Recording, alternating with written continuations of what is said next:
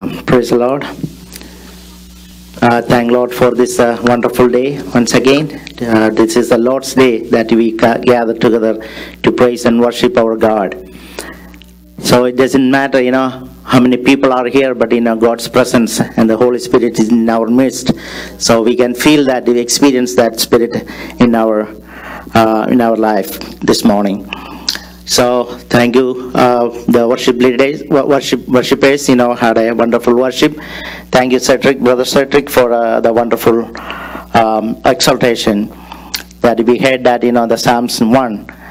Uh, that's our favorite, everybody's favorite. You know, uh, Psalms that you know, uh, the first time we are learning. You know, the Bible verses.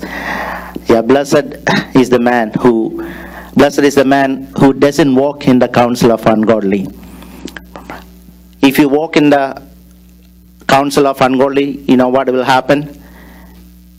You will stand, and you will, then after that you will sit. That is uh, the progressive of sin. Sin is progressive. The first time we feel that it is okay, but uh, you know we will end up uh, in a in a uh, in a big sinner. So let's walk in the counsel of godly people and the counsel of Word of God and the Holy Spirit. Um, it was a wonderful Psalms and wonderful thought. Uh, today, I want to take a few minutes. I'm not a big pre- preacher, but uh, uh, the God uh, put my thoughts into my heart. You know, I want to share with you this morning. So, you know that you know, um, you know, the pastor, our pastor is not here. I just want to say a small story, by the way. You know, um, there is a pastor in a, in a village, in a, in a uh, small town. Uh, there was a church as a pastor, and he invited um, people for a special meeting. And uh, the people came for the meeting, and the pastor was so happy, and he started to preach. And he preached and preached at the time, you know, went up, and you know, one by one, you know, the people, you know, get up and you know, they went home. Uh, but, but but pastor was keep preaching. Finally, one person left over there, and he was sleeping too. Finally, pastor said the benediction and came to the brother and uh, said, "Oh, brother, thank you that you know you are listening my uh, sermon and sitting here until this time."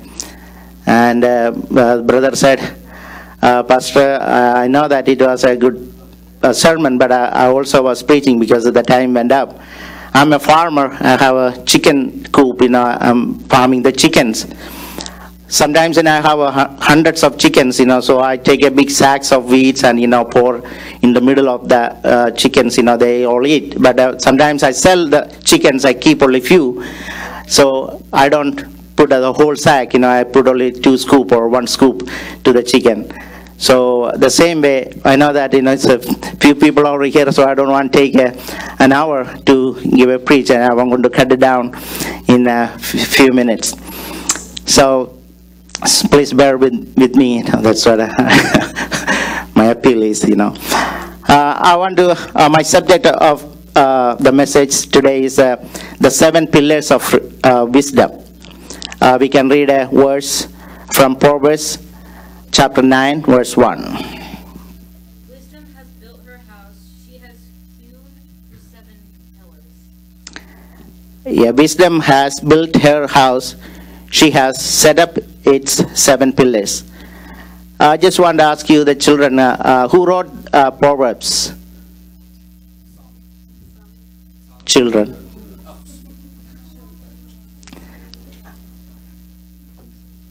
All right, who? Nia? Solomon, very good, very good. We all know that you know Solomon wrote this book. Solomon is a son of David who is appointed by God uh, for the king of Israel after David. After he took the charge, God asked uh, Solomon, Solomon, what do I do for you? And uh, without any doubt or without any hesitation, uh, Solomon said, Lord, I want your wisdom to lead your people. So God was so, so pleased, and you know, God uh, gave the wisdom from, uh, from above, and everything else what he didn't ask. So in the book of uh, First King chapter 4, uh, 29 to 35, um, uh, we see that uh, uh, we can see that in uh, how wise Solomon was. He was the wise of wisest. There was no other person under the heaven and the earth in the case of you know wisdom like Solomon. So in the in the chapter uh, 4, 32, we read that 3,000 proverbs and uh, 1,005 psalms he wrote.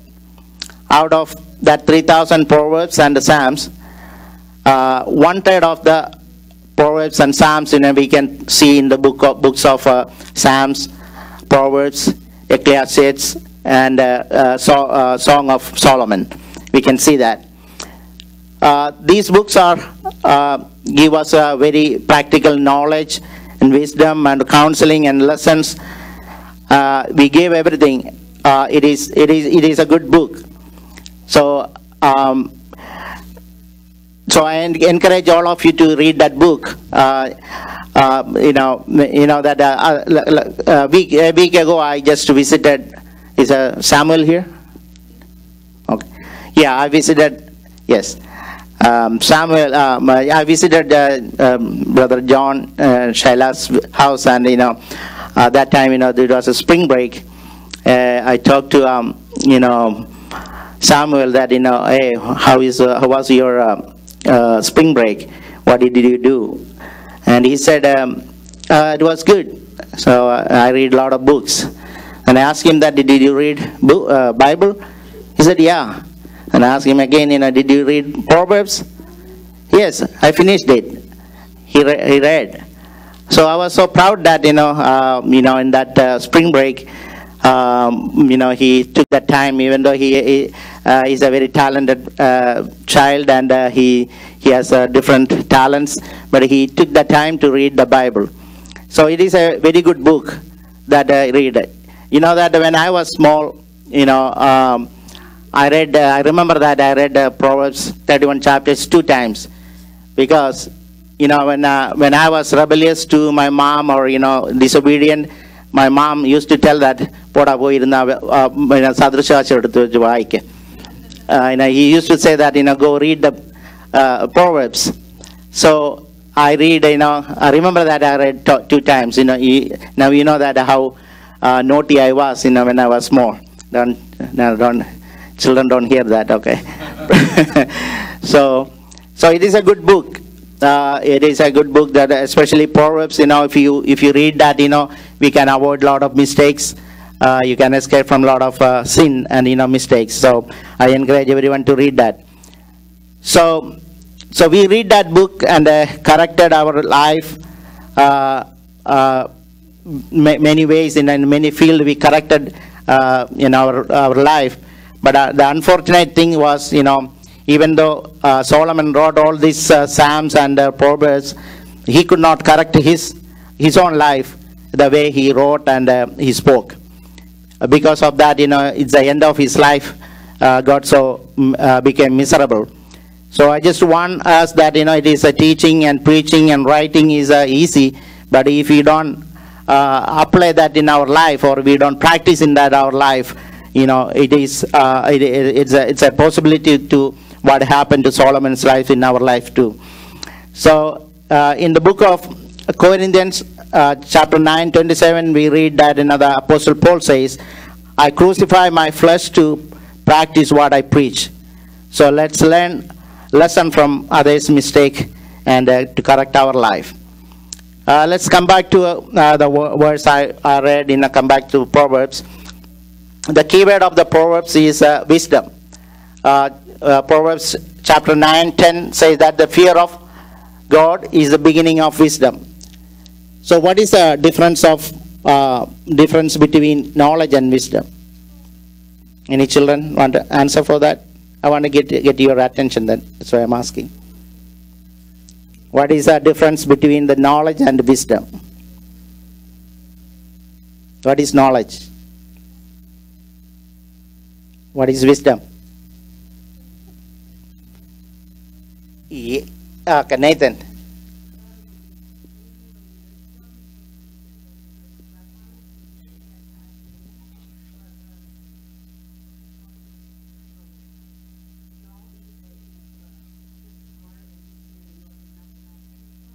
Yes.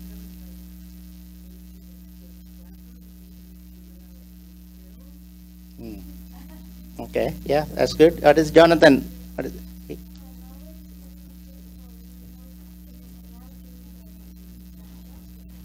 I, I can hear it.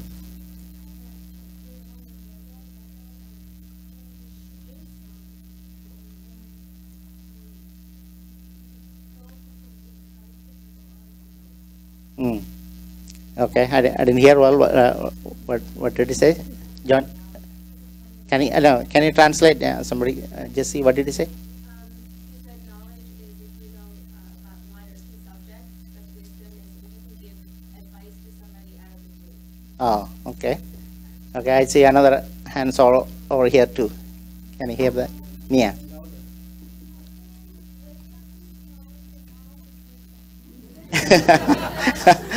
oh, that's vice versa.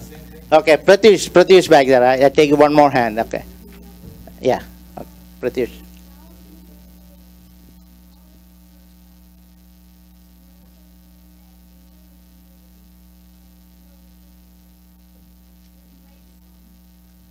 Wisdom is right and wrong. Okay. Okay. Okay, good. Uh, Danny, last, last.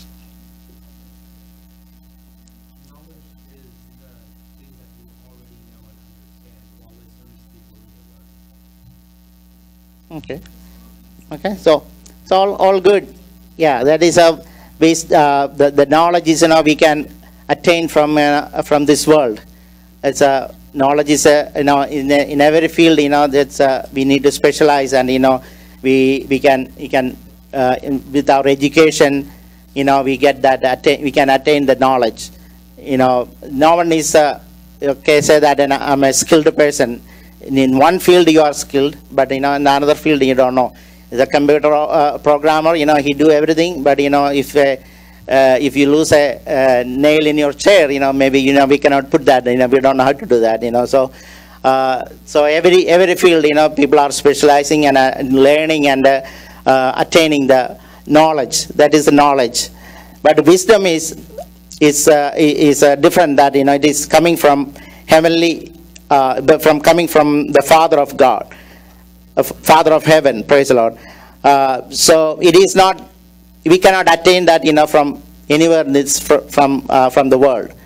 Uh, we cannot. Uh, it won't get by birth.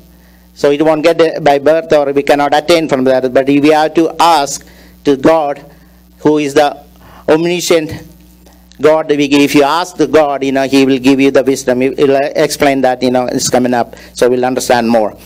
The book of James, uh, chapter 1, 5 says, if you, uh, it says, you know, if you lack wisdom, you should ask God, who give generously to all without finding fault, and it will be given to you. If you, if you ask God that uh, God is giving you that wisdom, uh, if you are if you are cry out if you ask god you are cry out you know you will receive that. No matter how educated you are how illiterate you are how smart you are or how weak you are you know if you ask god you know he will give that uh, uh, wisdom wisdom from heaven. Uh, if you are using that wisdom to build our family life our spiritual life and our uh, personal life we will never fail. We will succeed in our life. Uh, let's look what are the seven pillars of wisdom. We are going to speak about the wisdom uh, that is coming from above or coming from God. Uh, in the we, we read that in the chapter uh, 9 verse 1 uh, we read that what was that uh, wisdom has built her house she has set up its seven pillars here solomon compared this wisdom with a woman who is fearfully and wi- wisely building a house with these pillars. Um, even though Solomon said there are seven pillars of, uh, of, of there, there are seven pillars of this wisdom, but it is not mentioned right away there. But the Holy Spirit revealed through Apostle James after many many years. We can see that uh, into the book of James, uh, chapter three, verse seventeen. Praise the Lord. Someone, can you read someone?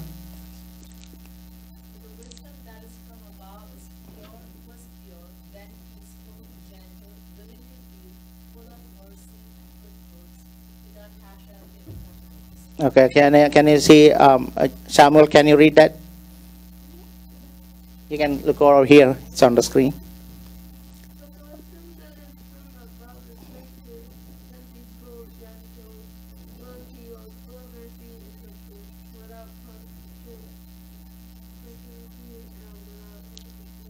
Okay, thank you.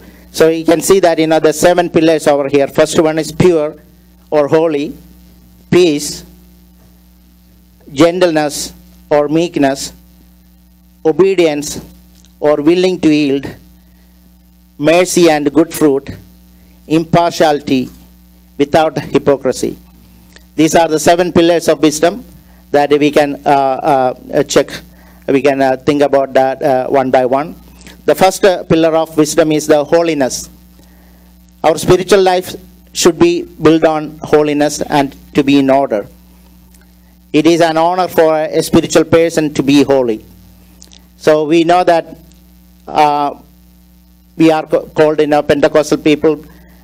Uh, the, the, the sign of the Pentecostal people are ho- holiness. You know, the, the Penteco- പെന്തക്കോസുകാരുടെ മുഖമുദ്ര എന്ന് പറയുന്നത് തന്നെ വിശുദ്ധി വിധി വിശുദ്ധിയാണ് വിശുദ്ധിയായിരിക്കണം So we know that, you know, our forefathers, fathers, you know, they paid a lot of price to keep that uh, holiness, and, you know, they stood for the holiness, and they live a life uh, like that in, in, in holiness. So let's examine ourselves this morning, how, how holy we are in front of our, uh, our holy God. Uh, so uh, the, the Bible says wisdom have two eyes, two pair of eyes. That's one inner eyes and the outer eyes. So in the inner eyes, uh, inner eyes is to see ourselves. The outer eyes we see that, but we are very smart to see use the outer eyes that you know how uh, wha- wha- what's wrong with the other people and uh, how weak they are or what is their fault. So tha- that's what we are using our outer eyes. But you know, if you use your inner eyes to examine yourself, you can lead a holy life. So the Bible says, "Who has the sacred heart, they will be, they will, they will see God. Without holiness, no one will see God. It is the will of God that is your sanctification." Uh, so let's le- let's uh, let, let us be a holy person. Let us lead a holy holy life. The, the second uh, pillar of wisdom is peace. Do you have a peace in your heart? So we can see that you know the people are you know uh, searching for peace and uh, chasing for pieces peace. They they uh, they go for uh, some people do you know that you know now these days you know yoga is very famous. You know people are doing yoga. They find they're saying that you know they find peace in there, and uh, some people are going visiting you know uh, holy places and you know they think you know they will get you know some people are chasing money and fame or whatever you you you're doing. You don't get that peace in your heart. The Bible says that you know, uh, yeah, um, you will not you will not give the, the world will not give you peace, but I will give you the everlasting peace. It is not like the earthly peace. Uh, um, so if you chase all all these things, you know, you don't get the uh, peace in your heart. But if you want to, you know, get that uh, really peace into uh, in your heart, you need to ask God, you know, to find that heavenly peace uh, to uh, to um, in in our life. Then only we get a, uh peace in our heart. So uh, uh, uh, when we get that peace, you know, we will be peaceful, you know. So if you are, uh, think about that, you know, are, are you a peacemaker or a, uh, you are, uh, your life is, or uh, you take away some others' uh, uh, peace Uh, with our words or some, uh, with our actions, you know, many times, you know, uh, we, we uh, you know, the people lost, you know, their peace in their heart, you know, with our, our words or uh, our actions or deeds. But, you know, Bible says that uh, uh, the blessed are those, uh, blessed are those make peace, will be called the children of God.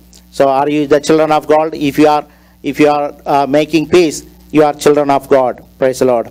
So if it is possible, be peace with uh, everyone. Let us be a peacemakers. I'm speaking the practical life, you know, uh, what, you know, related to this, uh, the, this message, you know, how we need to do that, you know, this practical side I'm, I'm talking. Uh, so the third pillar is uh, gentleness. Gentleness is a character of children, uh, character of children of God. Some people misunderstood that uh, uh, the meekness uh, means that you know quiet all time, but it is not. Whenever you need to speak, you need to speak. Whenever you need to act, when you should act, act. But it, it should not it should not be with uh, arrogance or pride, but do with uh, humility. Uh, uh, in Peter, the book of Peter, chapter 5, verse 5, we, we read, God hate the proud and arrogant, but he gives the grace to the humble. We can see that, you know, as an example that, you know, Jesus was meek uh, many times, you know, in front of people who mocked him or despised him and tortured him. He was meek in front of them.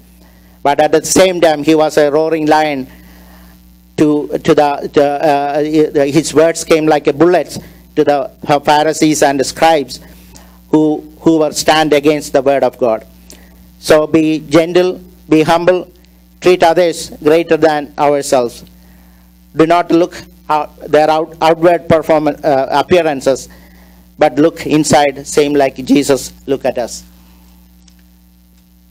And, uh, and the four, fourth pillar of wisdom is obedience. Has anyone, uh, obedience has another meaning that uh, willing to yield. We know that you know disobedience was the cause of man's fall. When you check, the root cause of all the problems are disobedience or willing to yield others or willing, not willing to sub, submissive. When you look, the families are breaking up, the relations are, relationships are breaking up, the churches, churches are dividing. All these all things, you know, when you look, you know, the root cause is, you know, willing, not willing to submissive or not willing to, uh, uh, not willing to yield for others. So, yeah, I, I, I urge you to, uh, to, to, uh, to obedient uh, and willing to yield to others. The people who receive the wisdom of God, they will yield to others. They respect each other. The Bible says, the one who obey the statutes of the God is receiving the Holy Spirit. Yield the word of God, then you will not do the desire of the flesh. Children, obey your parents in the Lord, for this is right. Obedience is better than sacrifice, and heed is better than the fat of rams. So let us be obedient to the word of God and the Holy Spirit. I know the time is going up. I'm, I'm, I'm going a little faster. Praise the Lord. So, uh, fifth pillar of the wisdom is mercy and good fruit. fruit. People who are used, uh, people who are wise has full of mercy and they will fruitful. The sign of wise people are they, they would be merciful to others. When someone come and uh, tell you their problems or troubles, their hard time, do not neglect it. Sometimes, you know, we say that, oh, that is not my problem. What do I do for that? You know, um, you know, I don't, I don't know, I don't have to worry about that. Not like that, you know. Listen that problem, think about that. It, it is my problem. So you can, if you can do something, do it to help them and uh, and uh, and pray pray for them. Well, usually we we took the last one last one, you know. Okay, I will pray for you. You know, പ്രാർത്ഥനയിൽ വഹിച്ചോളാം എന്ന് പറഞ്ഞ് നമ്മൾ വഹിക്കാറുണ്ട് ആൾക്കാരെ അപ്പോൾ അതുപോലെ you know, പ്രാർത്ഥിക്കുക മാത്രമല്ല you know when we can do something uh, we can do that too take it that the burden of the other people that's our our burden too so uh, so do that way and uh, and uh, impartial. How do we know we are impartial? Sometimes, you know, we, we are so attached with some people, some families. Uh, we always call them and talk to them, uh, visit them. At the same time, we ignore or we, we, not, we do not care uh, some other people. A spiritual person not supposed to be pa- uh, partial they should uh, treat everyone equal and keep the love and the relationship equally. Because we are redeemed by the blood of Jesus Christ. We, we are partakers of same blood and the one bread. So we are we are the parts of one body. So we are worshiping the same God in the same spirit, and we are going to the same place. So we cannot show that uh, partiality to anyone. Uh, treat them equally and love them equally. Jesus did Jesus do any partial to us? No, he didn't do any partial to us. None of us born in a Jewish family. We, we are not did any, anything special to be, be to be chosen, but God chose us from the from every nation and every tongue and every every creed and every every caste. God is impartial God. Our God is impartial God. We have to build up our spirituality without any partiality. Uh, the seventh uh, pillar of the wisdom is without hypocrisy. Our, our, life should be without hypocrisy.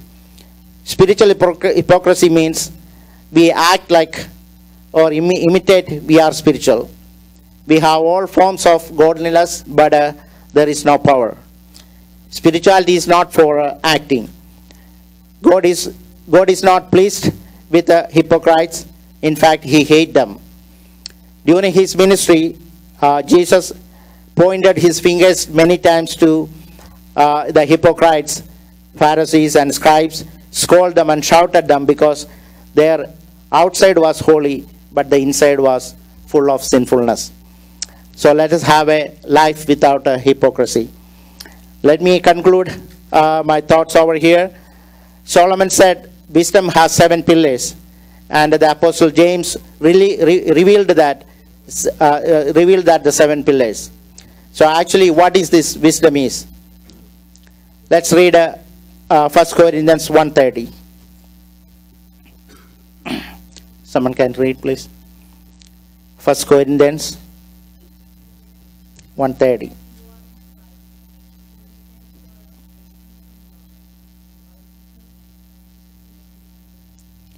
Yes. But of him you are in Christ Jesus, who became for us wisdom from God, and righteousness, and sanctification, and redemption. The heavenly wisdom is truly represents Jesus Christ. Jesus is the wisdom. We can see the fullness of seven pillars in Jesus Christ. We see that in the, on the first pillar, we see that in a, it is pure and holy. Jesus is holy. He is a holy of holy. He was sinless and he was separated from the sinners and sin. So he is a holy of holy. And the second pillar, we see that, you know, the peace. The, the book of Ephesians, chapter, chapter 2, verse 14 says, for he, for he himself is our peace, who has made us both one and uh, has broken down in the flesh the dividing wall of host, hostility.